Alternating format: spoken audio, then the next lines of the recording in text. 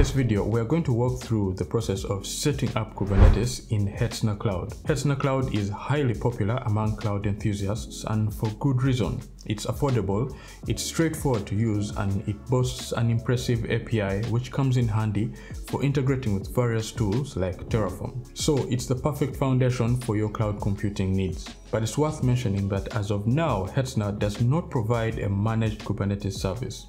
However, that's not a roadblock because there are tools from the Hetzner Cloud GitHub project that make it easier for you to set up and use Kubernetes in Hetzner Cloud. So today we're going to use a couple of these tools together with Terraform and Kubespray to get a production ready Kubernetes cluster up and running in Hetzner Cloud.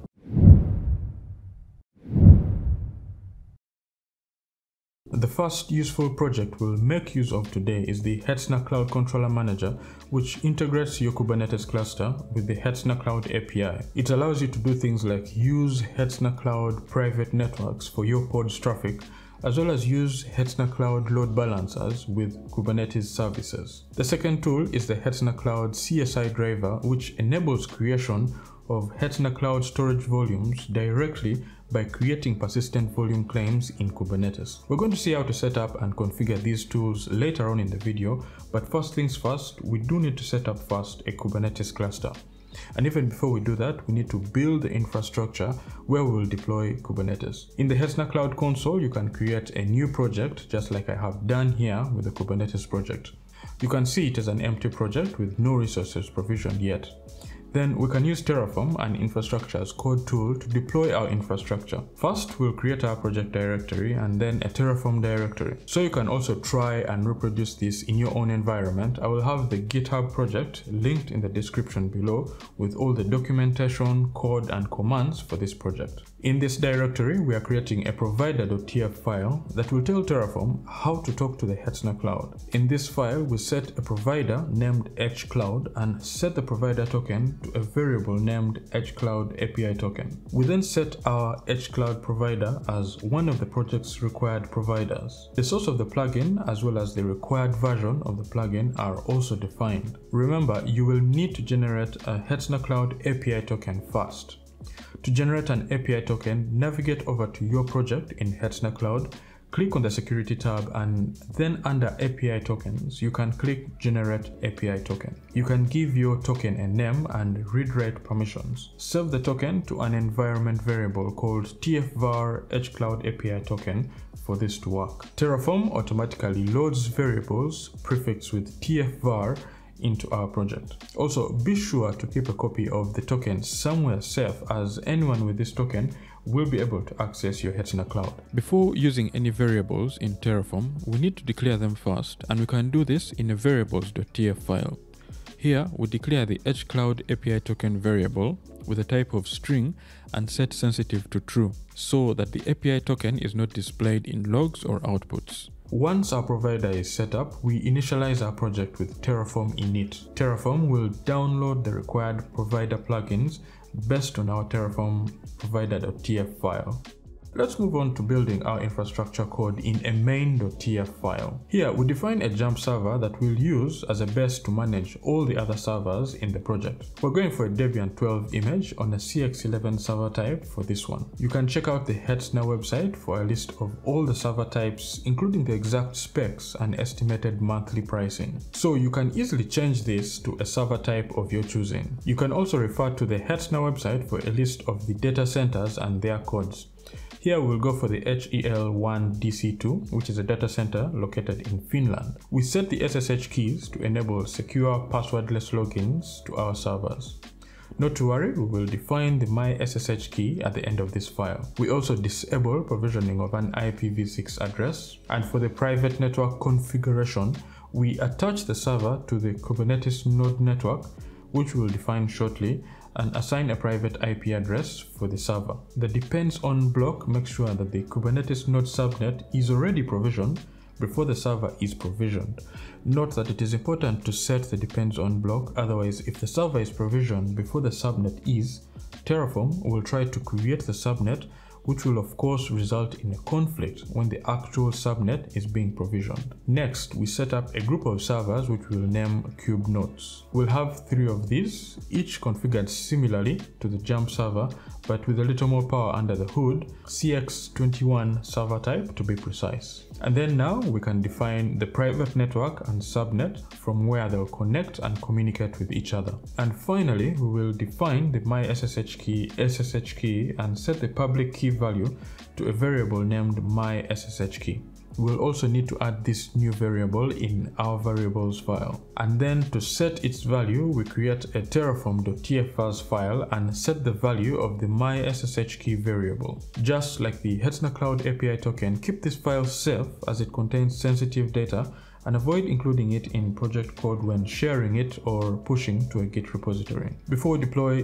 this setup to Hetzner, let's define some outputs in an outputs.tf file. This will help us keep track of the IPs of our kube nodes for use later on during the Kubernetes setup. And now it is time to deploy. First, we run Terraform plan to check that everything looks good. Then we use Terraform apply to deploy the infrastructure.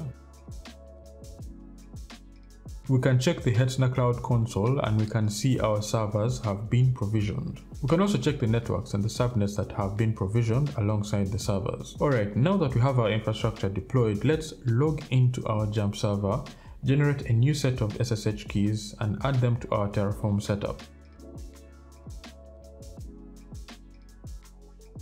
The generated SSH public key will be saved under this path. We can copy it and set it as a value of jump server SSH key in terraform.tfvars. Don't forget to declare this new variable in our variables file. Then in main.tf, we'll create a new SSH key called jump server SSH key and add it to the list of SSH keys in the kube node servers. This will allow us to log into our kube nodes from the jump server. Finally, we redeploy our infrastructure with the updated SSH keys using Terraform apply. In the Hetzner Cloud console, you can also check the SSH keys tab under security which lists all the keys that have been added. So now we have a fully deployed infrastructure in Hetzner Cloud. We have set up three servers which will serve as nodes for our Kubernetes cluster. We have also set up a jump server and made sure that we can access the Kubernetes node servers from it. This will enable us to easily set up and manage the Kubernetes cluster. So now we are ready to start deploying Kubernetes. We'll be using KubeSpray to deploy Kubernetes. KubeSpray is an awesome tool that makes setting up Kubernetes clusters a breeze. If you'd like to go into more detail on how to use KubeSpray to deploy Kubernetes, you can check out my Kubernetes at home video. I'll have that linked up here as well as in the description below. First thing we need to do is to log into our Jump server and create the project directory. Once inside of the kube setup directory, we're going to clone the KubeSpray project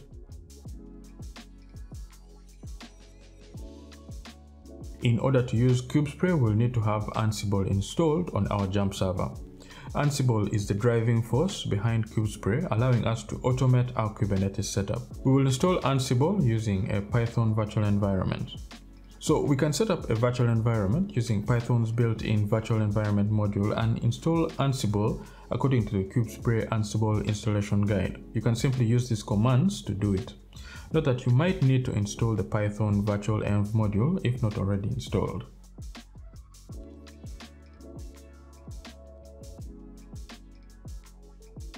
After ensuring that we have the Python virtual env package installed, we can now create a new Python virtual environment and activate it.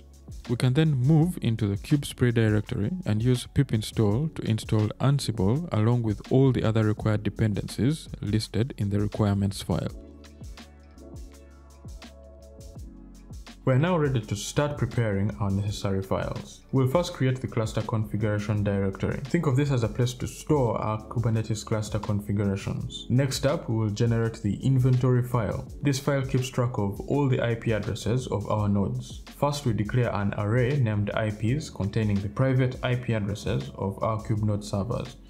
We then run this command which uses the IP information provided and generates an inventory file at the path we specify. The generated host.yaml file will use the default kubespray naming convention of node 1, node 2 and so forth, so we need to update our host.yaml file to match our server names in Hetzner. This step is important for the hcloud Controller Manager to recognize the Kubernetes nodes as it will be checking them against the actual Hetzner server names. So please make sure that your Kubernetes node names match the Hetzner server names. Once we have our inventory sorted out, we'll create a custom configuration file for our Kubernetes cluster. Here we are telling Kubespray that we are using Hetzner Cloud as an external cloud provider. This will also tell Kubespray to install and configure hcloud Controller Manager as part of the Kubernetes setup. And then under the external hcloud section, we will set the secret name where the Hetzner Cloud API token will be stored. We set with networks to true because we would like to leverage the underlying Hetzner Cloud private network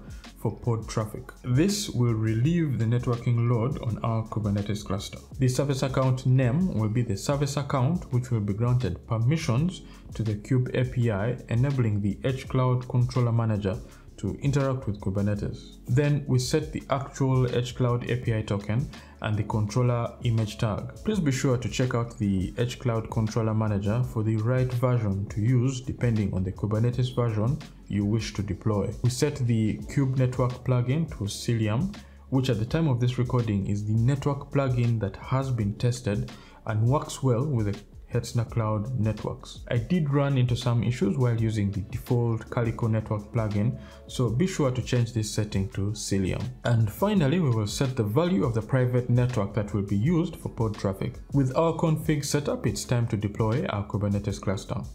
We will run this Ansible playbook command to deploy the cluster. The command applies the cluster.yaml playbook and we also supply our inventory and cluster configuration files to the command. This stage will take some time to complete depending on the size of the cluster that you are creating and the resources available on each node. So grab a coffee and relax as Kubespray does its thing. If all goes well, you should see that the deployment has completed successfully from the Ansible Play recap. And at this point, our cluster should be up and running. Once our cluster is up and running, we can install kubectl using these commands so that we can interact with our cluster directly from our jump server. Then we'll copy the kubeconfig file from one of our control plane nodes to our jump server. This is the file that tells kubectl how to connect to our Kubernetes cluster.